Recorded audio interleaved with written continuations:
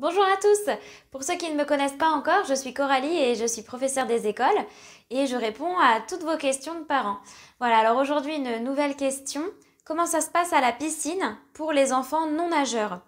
Alors concrètement, euh, voici comment euh, se passent les séances de, natation ou de, piscine à l'école.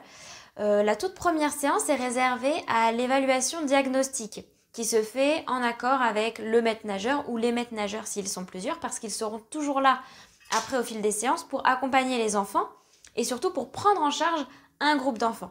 Donc cette évaluation diagnostique, elle permet de faire faire aux enfants plusieurs petits ateliers, plusieurs petits jeux, afin de se rendre compte le niveau qu'ils ont et de leur appréhension de l'eau. On peut avoir des enfants qui appréhendent énormément l'eau, euh, d'autres qui ne l'appréhendent pas, mais où il va falloir se méfier parce qu'ils se laissent aller dans l'eau et ils se laissent couler. Et on a aussi ceux qui se débrouillent totalement, qui n'ont pas du tout peur, qui y vont, qui ont l'habitude d'avancer un petit peu dans l'eau, de se débrouiller, et voilà.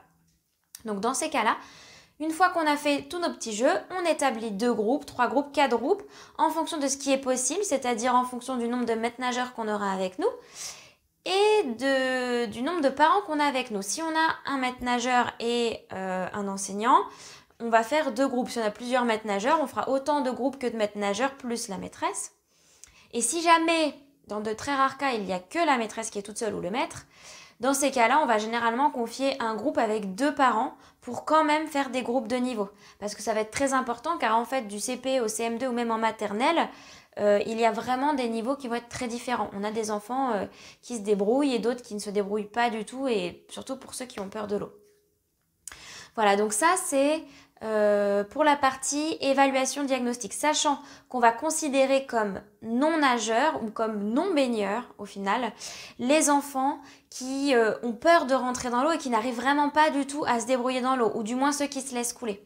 Voilà, on va pas du tout parler des enfants qui, qui, qui vont dans l'eau, même s'ils ne se déplacent pas, ne nagent pas. Parce qu'en fait, euh, nous, à l'école, on n'apprend pas à nager vraiment aux enfants au sens euh, comme les cours de natation pour ceux qui vont faire des cours de natation en, en extrascolaire. Nous, le but, c'est d'apprendre à se déplacer dans l'eau. Voilà. Donc, une fois qu'on a fait notre évaluation diagnostique, les séances s'enchaînent et justement, on va aller vers cet objectif d'apprendre aux enfants à se déplacer, à savoir s'immerger entièrement dans l'eau, parce que pour certains, mettre la tête dans l'eau, c'est vraiment trop difficile. Donc on va aller vers ça. Le but, c'est qu'à la fin du CM2, les enfants soient capables de partir de l'école, de partir de leur euh, école primaire, en sachant se débrouiller dans l'eau et en n'ayant pas peur. Voilà. Euh, après tout ce qui va être euh, nage olympique, hein, c'est pas chez nous que ça se passe. Voilà. Donc pour les enfants qui ont le plus de difficultés pendant ces séances d'apprentissage, on va leur apprendre à s'immerger et à se maintenir la tête hors de l'eau. À flotter aussi également, mais ça c'est une autre compétence. Donc ça on va le voir aussi.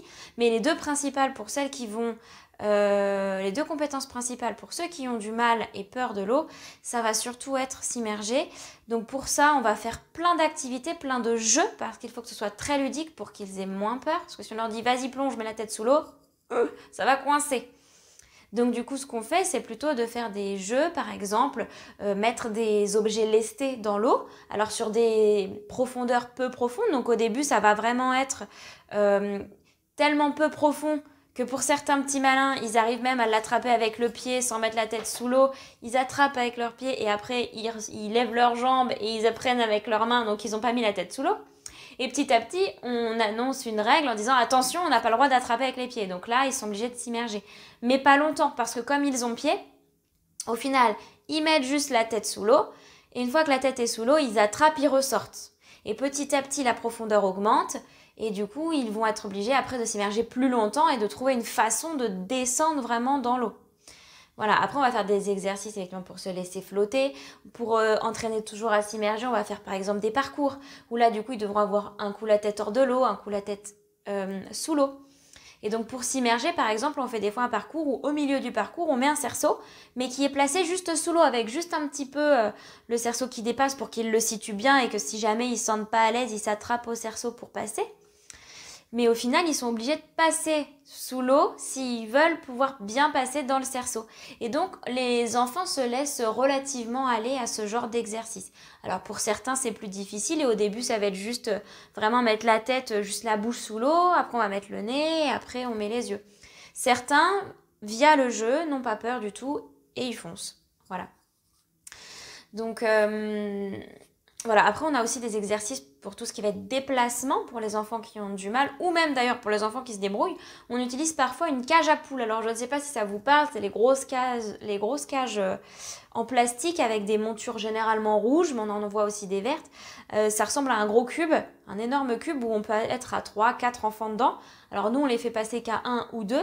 Et du coup cette cage, on peut la mettre des fois à moitié immergée, à moitié hors de l'eau, ou totalement dans l'eau.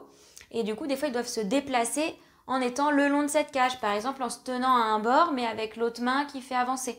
Du coup, ça les entraîne à se déplacer. Puis après, évidemment, on fait des courses, on utilise les frites pour euh, garder quand même un petit peu un minimum de flottaison. Voilà, et puis pour les élèves euh, qui, eux, se débrouillent euh, un peu plus, on va plutôt être sur des exercices plus techniques pour travailler vraiment le geste, travailler le battement de pied, pour être sur un déplacement un peu plus euh, un peu plus professionnel, si je peux dire ça comme ça, un, déplacement plus travaillé. Néanmoins, on va quand même utiliser pas mal de jeux, hein, parce qu'on ne peut pas rester que sur du technique durant toute la séance. Donc on va montrer le mouvement, on fait un exercice aller, un exercice retour, on va faire des courses, des relais aussi parfois. Ils vont être obligés de se déplacer avec par exemple leur frite ou une planche, et puis un petit objet qu'ils ont dans la main aussi. Donc ils doivent le tenir, faire que des battements de pied, aller-retour, donner l'objet à un autre enfant, et hop, il repart. Voilà, donc ça va être tout un, ensemble de petits exercices comme ça. Donc voilà, en fait, donc quand on dit non nageur, c'est vraiment les enfants qui en fait ont peur de l'eau et ne rentrent pas dans l'eau. Et les enfants derrière qui se débrouillent bien, nous ne les considère pas comme non nageurs, mais vous, vous, des fois, vous pouvez avoir le réflexe de dire non nageur parce que pour vous, bah, ils savent pas nager le crawl, ils savent pas nager la brasse, mais nous, on va pas le voir du même œil. Voilà, parce que c'est vraiment pas à l'école qu'on va apprendre à nager, euh, à être euh, des bons nageurs euh, comme on pourrait l'entendre dans un club de natation. Nous, ça va vraiment, le but est d'être euh, d'être libre dans l'eau et de n'avoir aucune appréhension. Voilà, et puis donc après toutes ces séances, parce que là je me perds un peu, après toutes ces séances, il y a l'évaluation sommative que nous on fait à la fin pour voir un peu où ils en sont après toutes ces séances. Et à chaque fois, vraiment, ça ne loupe pas, il n'y a pas une année, il n'y a pas un enfant qui échappe euh, au fait que après plusieurs séances, il y a forcément une progression. Alors chez certains c'est radical, on passe du tout au tout, de il a peur à il est passé dans le groupe de ceux qui, se déplacent assez facilement parce qu'il y en a chez certains chez qui il suffit juste de lever l'appréhension et après c'est parti. Il y en a pour qui ça va déjà être un succès d'avoir eu peur de l'eau et maintenant de rentrer la tête dans l'eau. Mais ce qui est sûr, c'est qu'on a toujours, toujours une progression qui est visible. On n'est pas, euh, on n'est pas pointilleux, on n'est pas tatillon. Vraiment, il n'y a pas besoin de, de regarder pendant deux heures pour voir que l'enfant, il y a une sacrée évolution. Voilà, sachant qu'on va aussi chronométrer, par exemple, pour les enfants qui savaient déjà se déplacer. On va voir, bah, par exemple, pour faire 25 mètres, peut-être qu'en début d'année, ils mettaient 3 euh, minutes. Et alors, 3 minutes, c'est long, hein, si.